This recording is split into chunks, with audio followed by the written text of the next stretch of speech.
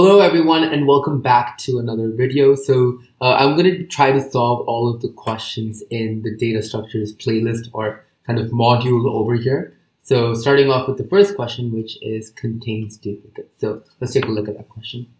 Okay, so in this question, we're going to be given an integer array called nums and our goal is to return true if any value appears at least twice in the array. So if there's any sort of repetition, we're going to return true. But if there's no repetition and every element is distinct, we're going to return false. So a quick example is 1, 2, 3, 1. The number 1 is repeated twice, so we return true. Uh, another example is 1, 2, 3, 4. Over here, everything is uh, unique and distinct. So in this case, we return false, right? So one very important thing to note, which is uh, important for this question that I uh, recognized earlier is that the, uh, the fact that these numbers don't have to be sorted. So, for example, we have ones here and then there's a two at the ending after three and four. So the numbers are not sorted. And yeah, so uh, the range of the numbers is from negative 10 to the power of 9 all the way to 10 to the power of 9. And we can also have some really big numbers. So the length could be up to 10 to the power of 5. Okay, so let's first think of a very brute force solution.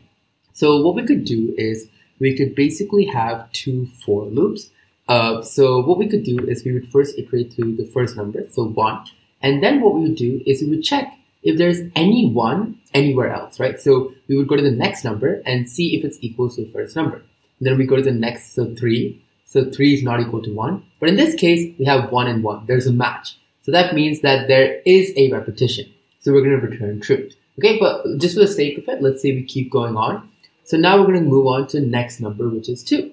So now we go into 2, and now we check 2 with 3, and then 2 with 1. So basically all we're doing is we're comparing the two numbers each and every time, okay? And if there is a, ma a match, we're going to return true. But this is not the best solution, and this is going to give us a time limit exceeded error, especially for really big numbers like 10 to the power of 5. Cool. So uh, that is the first solution, and this is going to be big O of n squared time complexity, and the space complexity of this is going to be big O of 1 because we're not using any extra space. So now let's move on to a second solution. So a second solution that we could use is by using a set. So what we could do is we could use our set to keep track of all the numbers that are coming in, and each number we go to, we're actually going to go to the set and check if that number exists. Now, if the number already exists, well, that means that there's a repetition and we're going to return true. And uh, the lookup type for a, a, set is going to be big O of 1, but this is going to take extra um, uh, space. So in the worst case, we might have to give out big O of n space, and worst case, assuming there's no repetition, will be big O of n times. So for this solution, we're going to have a set called S, for example, and now we iterate through each of the numbers and we check if s in num, uh, sorry, if, sorry, sorry, if num in s, we're checking if uh, the number is in our set.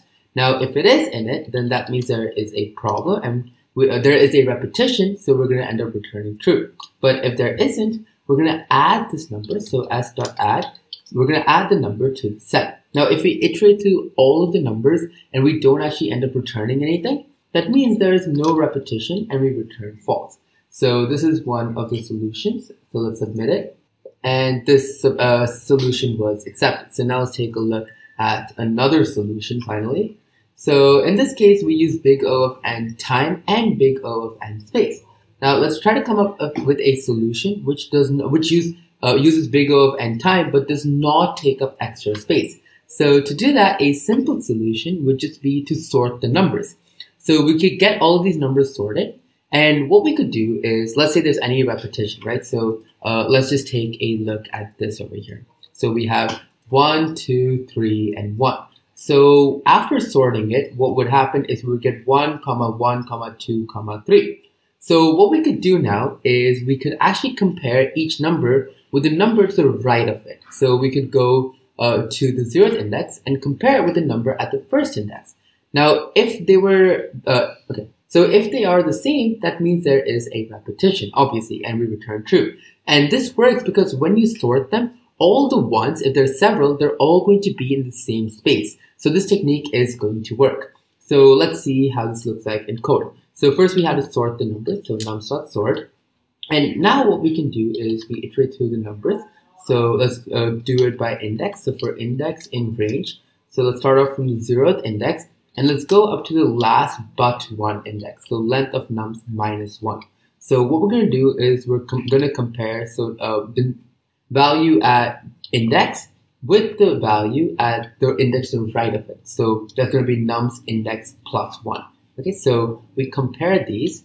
So if, and now if this condition here is true, well, that means there is a repetition and we're going to return true. But if we go through the entire for loop without returning true, that means there are no repetitions. And in this case, we return false. So this over here is going to take big O of n time, and it's not going to take any extra space. So yeah, that should be our solution. And thanks a lot for watching guys.